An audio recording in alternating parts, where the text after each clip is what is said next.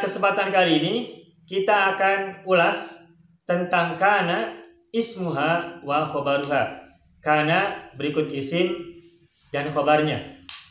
Seperti yang kita sama-sama ketahui bahwa kana isim dan khobarnya itu adalah satu paket. Kalau ada kana pasti akan diikuti oleh isim dan khobarnya. Nah, namun perlu kita ketahui bersama-sama bahwa isim kana dan khobar kana ketika kananya dihilangkan maka sesungguhnya isim kana dan khobar kana itu semula susunannya adalah terbuat dari mubtada dan khobar. Isim kana semula adalah mubtada, khobar kana semula adalah khobar mubtada. Dan begitu ada kana, maka mubtada menjadi isim kana, khobar mubtada menjadi khobar kana. Nah, kemudian ketika mubtada berubah menjadi isim kana, maka isim kana itu i'rabnya sama dengan mubtada. Mubtada marfu alias rofa, isim kana juga sama-sama rofa alias marfu. Tetapi untuk khobar kana ada perbedaan. Ketika khobar kana itu semula adalah khobar mubtada, maka khabar mubtada i'rabnya adalah rofa alias marfu. Namun ketika diawali oleh kana, maka khabar mubtada berubah namanya menjadi khabar kana dan i'rabnya menjadi nasab alias mansub. Jadi ada perbedaan. Kalau mubtada dengan isim kana sama, sama-sama rofa marfu. Tetapi khabar mubtada dengan khabar kana ada perbedaan. Kalau khabar mubtada rofa alias marfu, khabar kana nasob alias mansub. Pada bahasan kali ini kita akan fokuskan pada bahasan tentang khobar kananya. Kenapa demikian? Karena tidak sedikit orang yang ada salah paham tentang khobar kana.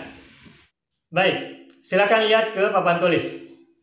Saya sudah tuliskan tiga contoh kalimat. Yang pertama adalah kana Muhammadun Rahiman. Tadi saya sampaikan, kalau kananya dibuang, ini semula kalimat ini adalah Muhammadun Rahimun. Muhammadun adalah mubtada, Rahimun adalah khabar mubtada. Nah, begitu ada kana sebelum kalimat ini, sebelum mubtada dan khabar ini, maka kalimatnya menjadi kana Muhammadun Rahiman. Muhammadun semula adalah mubtada, ketika ada kana namanya berubah menjadi isim kana dan irobnya rofa alias marfu. Terus rohimun khabar mubtada ketika ada kana maka berubah menjadi rohiman. Mengapa menjadi rohiman? Karena i'rab khabar kana adalah nasab alias mansub. Dan ciri nasabnya adalah fathatun zahiratun. Fathah yang jelas yang nampak terlihat. Kana Muhammadun rahiman. Muhammadun kedudukannya adalah sebagai isim kana marfu dan rahiman kedudukannya adalah sebagai khobar kana mansub. Nah, perhatikan rohiman. Ini adalah khobar kana. Ingat khobar kana itu i'rabnya adalah nasab alias mansub. Dan cirinya nasab pada umumnya yang mudah dikenali adalah fathatun zahiratun. Cirinya nasab adalah fathah. Karena tidak ada alif maka fathahnya bertanwin menjadi rohiman, bukan rohimah. Kana Muhammadun rahiman. Rahiman adalah khobar kana. Nah kita akan coba fokuskan bahasan pada khobar kana. Yang nomor satu ini, kalimat yang ada pada nomor satu ini, rahiman adalah khobar kana yang terbuat dari sebuah kata alias mufrad. Kata mufrad bukan kata yang terdiri dari kalimat yang lengkap. Perlu diketahui, dalam bahasa yang menahu, baik khobar mubtada, khobar inna maupun khobar kana itu terdiri dari tiga macam. Pertama disebut dengan khobar mufrad. Maksudnya khobar yang terdiri dari satu kata. Dan itu berupa isi. Yang kedua disebut dengan khobar shibhul jumlah. Mirip kalimat. Shibhul jumlah itu bisa terbuat dari jar majrur atau juga terbuat dari zorob dengan mudhof ilaih. Yang ketiga, Khobar itu bisa terbuat dari jumlah, khobar jumlah namanya. Nah, khobar jumlah bisa terbuat dari dua hal. Bisa jumlah ismiyah, bisa jumlah fi'liyah. Nah, di sini pada kalimat yang pertama, khobar kana, rohiman khobar kana. Rohiman ini merupakan khobarnya khobar mufrad. Khobar kana mufrad. Khobar kana yang terdiri dari satu kata. Rohiman, satu kata, bukan rangkaian dari dua kata.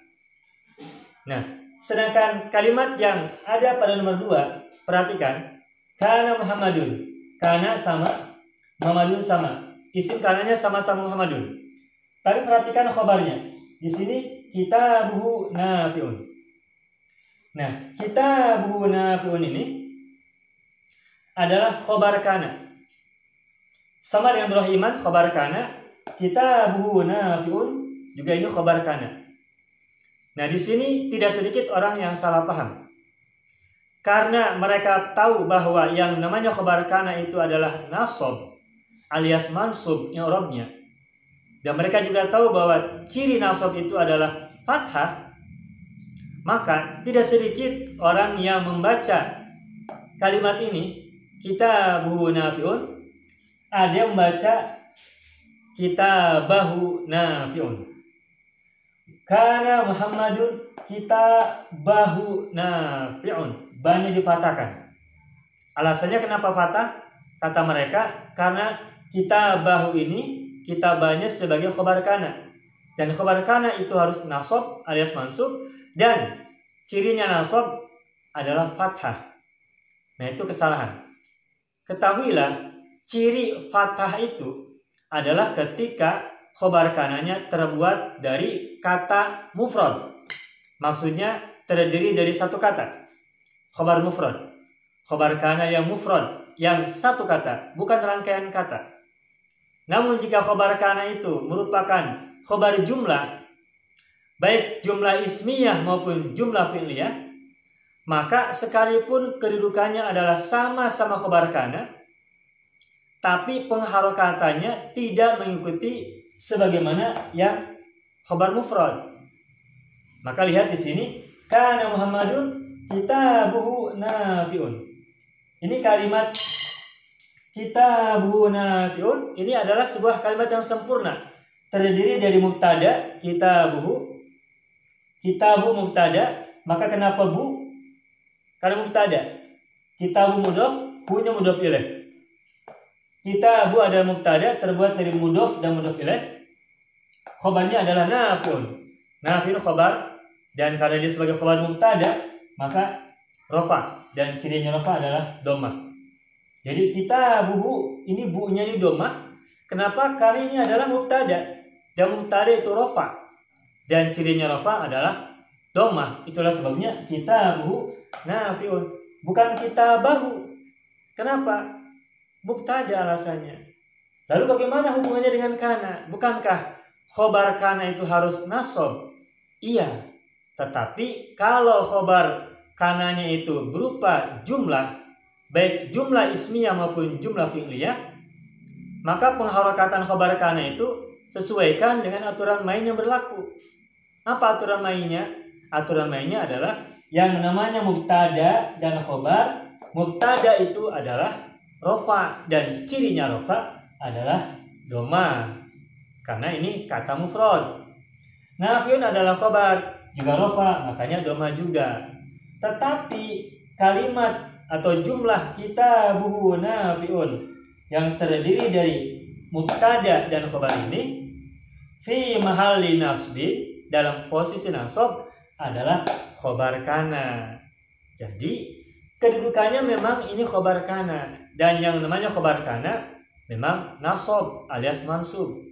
Namun khobar kananya terdiri dari jumlah ismiyah yang terbuat dari mubtada dan khobar. Mubtada punya aturan main sendiri, yakni rofa. Makanya kitabu. Kitabu tidak kitaba. Nafiun adalah khobarnya. Khobar juga harus rofa. Gitu. Oleh karena itu maka aturan main mubtada dan khobar tetap berlaku sekalipun dia kedudukannya dalam kalimat panjang ini adalah khobar kana.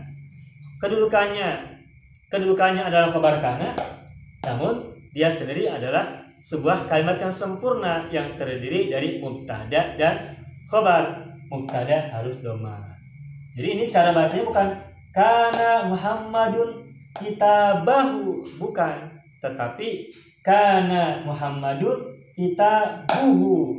Nah, fi'un. Alasannya kitabu ini kenapa dibaca doma? Karena dia adalah mubtada.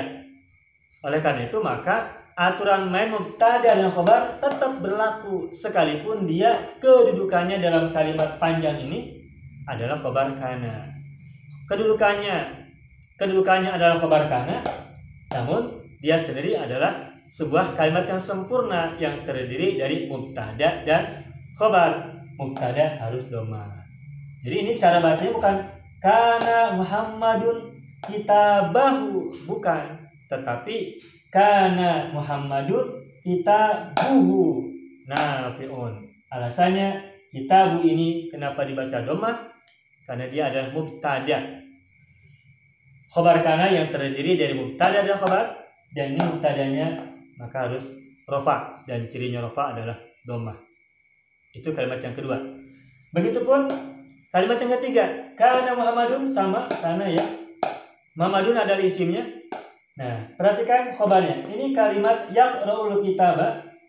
Ini adalah khobar kana tapi berupa jumlah fi'liyah. Jumlatun fi'liyatun. Jumlah atau kalimat yang terdiri dari fi'il, fa'il, dan maf'ul bih. Mana fi'ilnya? Yakra'u. Mana fa'ilnya? Fa'ilnya adalah domirul mustatir. Domir yang tersembunyi.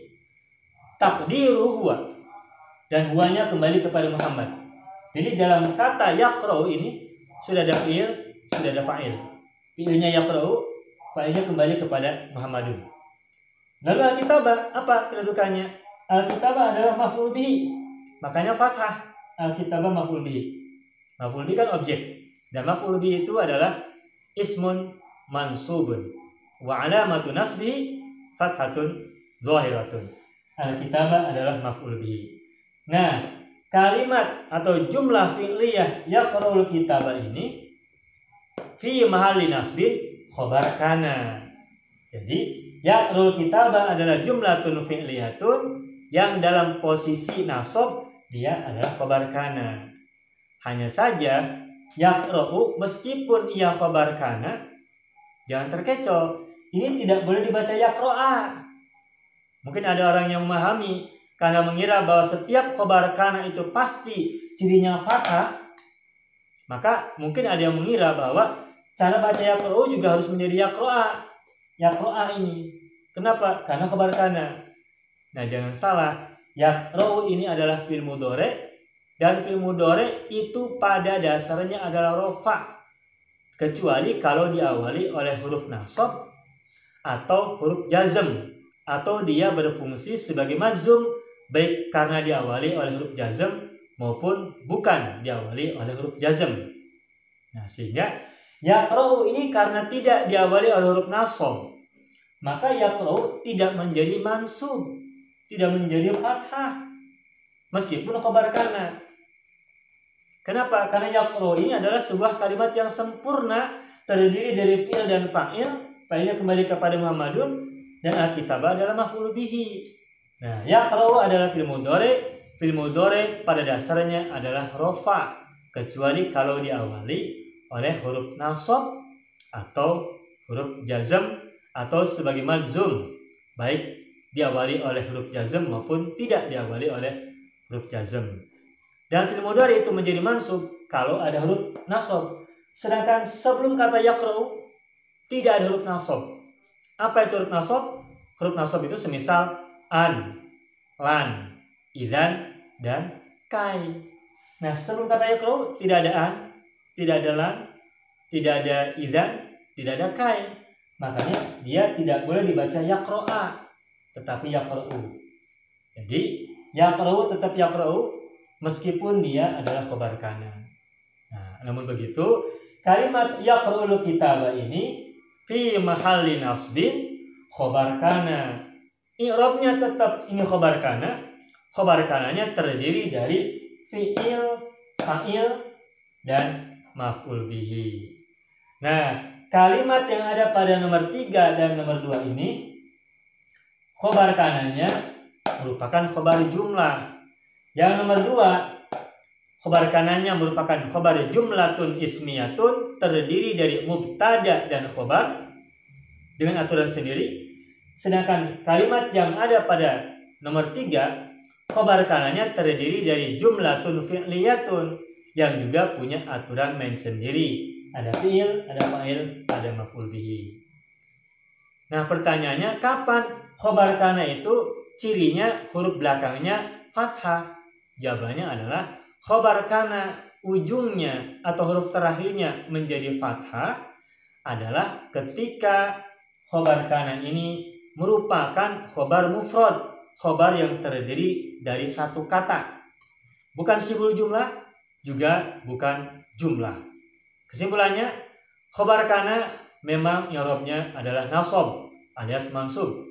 Dan cirinya nasab adalah fathah untuk isim yang mufrad atau isim yang berupa jamak taksir. Akan tetapi ciri fathah ini adalah khusus untuk khobar kana yang terbuat dari mufrad. Kata satu kata, bukan rangkaian kata, bukan rangkaian dalam sebuah kalimat bukan rangkaian kata yang merupakan kalimat yang sempurna. Akan tetapi kalau khobar kanannya itu berupa khobar jumlah, baik jumlah ismiyah maupun jumlah fi'liyah, maka aturan mainnya seperti pada asalnya. Kalau mubtada khobar, maka menggunakan aturan mubtada khobar. Kalau fi'il, fa'il dan maf'ul, maka menggunakan aturan fi'il, fa'il dan maf'ul. Demikian Semoga penjelasan ini bermanfaat dan sekaligus juga menjelaskan kesalahpahaman sebagian orang tentang pemberian harokat untuk khobar kana. Demikian, semoga bermanfaat.